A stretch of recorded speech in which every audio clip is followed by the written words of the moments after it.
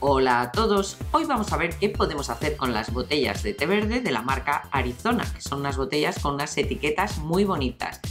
Hay de plástico y de cristal, vamos a utilizar las de plástico. Entonces, la primera idea que se me ocurre es usarlas como jarrón. Lo cierto es que nosotros lo tenemos en casa. También se pueden usar como botella de agua, pero eso es tan obvio. Otra idea es hacer con ellas un dosificador de jabón, de jabón, de crema o de lo que queráis. Para eso solo necesitamos un dosificador y nuestra botella de Arizona. Ojo, es un poco especial porque la rosca es distinta. Fijaros, una botella de Fanta o de Coca-Cola de medio litro es súper fácil hacer con ella un dosificador porque la rosca es idéntica al tamaño normal de un dosificador. Pero con la de Arizona esto no pasa, la rosca es más grande. Eso es bueno para muchas cosas, pero nos dificulta un pelín la manualidad. Para solucionarlo, solo tengo que hacer un agujero en la parte del centro del tapón.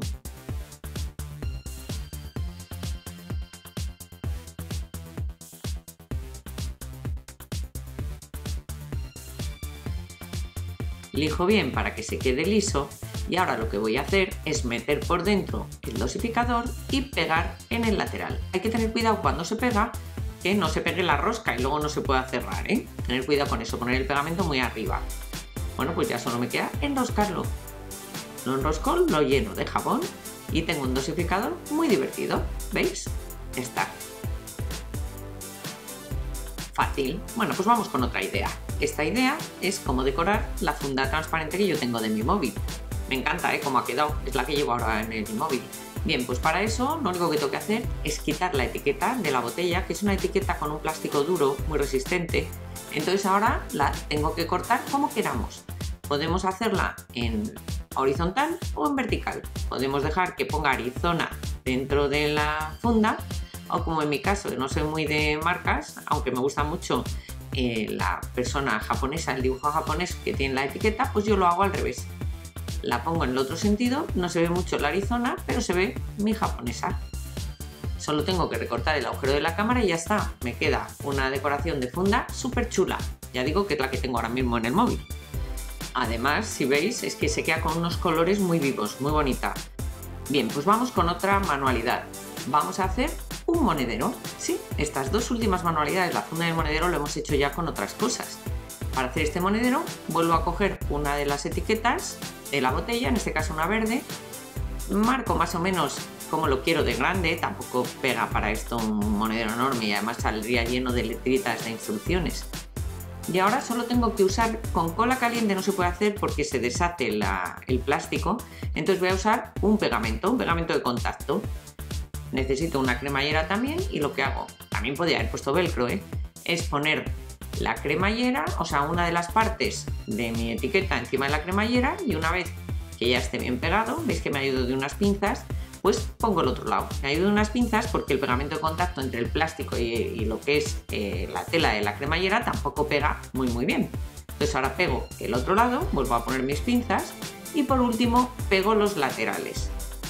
Por cierto, aprovecho para decir que al final del vídeo os volveré a explicar dónde pongo los ganadores de los sorteos. Bueno, pues nada, ¿veis? Vamos a pegar los laterales y ya está, un monedero muy chulo. Yo esta idea la voy a usar este verano. Parece que queda un monedero muy chulo para llevar en la bolsa de la playa, de la piscina o en el bolso normal, ¿eh? Pues ya está, una vez que está todo pegado, ya puedo meter las monedas.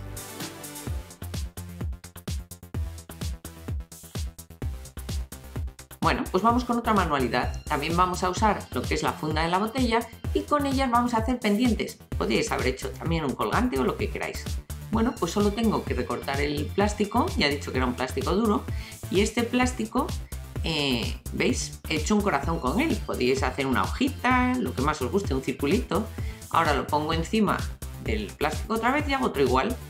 Bueno, no tengo más que hacer un agujerito con la punta de una tijera y ahora, si queréis que quede un poco más largo en vez de tan cortito, pues lo que tenemos que hacer es eh, ponerle una cadenita que vaya entre el corazón y el enganche del pendiente.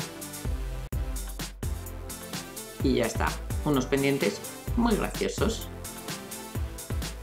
Las últimas dos ideas se pueden hacer con una botella de Arizona o con la que queráis. ¿eh? La siguiente idea es hacer un bote. Hemos hecho cosas parecidas cuando hacíamos labiales, ¿recordáis? Pero con botellas más estrechas. Este bote tiene bastante más sentido, ya lo veréis también en el próximo vídeo, uno que vamos a hacer un patito. Y entonces, bueno, lo corto, lo limo un poco y si queremos podemos limar o quitar con acetona la parte donde pone Arizona, el tapón.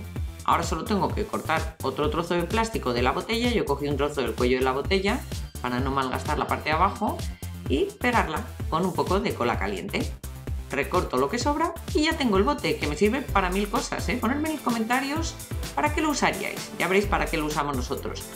Y por último, la última idea que os quiero dar es hacer una copa, sí, una copa para las fiestas de los niños, incluso si la decoráis os puede servir de trofeo de competiciones, en fin, para muchas cosas. O para poner también hay flores o incluso plantar como macetitas. Para eso he cortado la botella en dos trozos y veis, uno cuadra encima del otro. No tengo ni que pegarlo. Queda muy muy bien cogido. ¿Os veis qué copa más chula? Bueno, pues espero que os hayan gustado estos trucos, estas manualidades o ideas para hacer con estas botellas. Ponerme en comentarios que me encanta leerlos ¿Cuál de los trucos que hemos hecho, cuál de las manualidades os ha gustado más? Bueno, pues ahora voy a hablaros de los sorteos, que la verdad creo que hay gente que no escucha hasta el final del vídeo. Yo leo en muchos comentarios quién ganó el sorteo de, quién ganó el EOS, quién ganó el muñeco.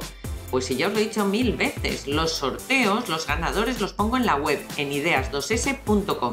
Así que ayudarme, si lo veis en algún comentario, ponerle busca en su web, en ideas2s.com. Pues nada más, no os olvidéis de dar a me gusta, nos vemos en el siguiente tutorial.